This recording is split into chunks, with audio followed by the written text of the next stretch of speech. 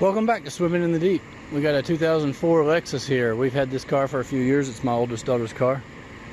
I was looking at replacing the headlights on it, but uh, I think I found at least a short-term fix. So look how foggy this headlight is.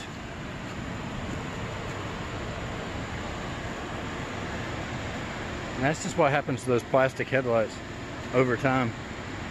We have rubbed it out one time before, not professionally, but with some rubbing compound. Look at this one. I just did this in about two seconds. Watch what we do here.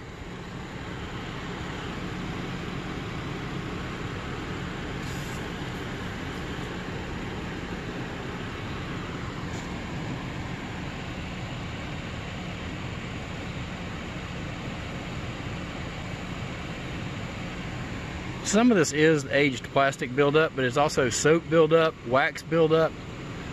And I believe what this is doing is getting rid of that wax and soap buildup unbelievably.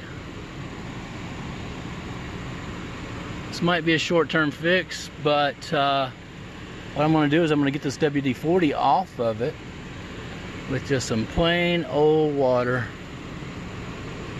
Replacement headlights for this vehicle $190 is where they start for the generic ones. And for the OEM ones, a lot more than that. So hopefully this will save you some money. All that is is straight up WD-40, a can I've had in the basement for a while. No smoke and mirrors, look at that. You can see the rust on that can. That's all it was. It's WD-40. I'm gonna do a little bit more of it. Reason why I sprayed it on the rag first is I don't want WD-40 on the paint job.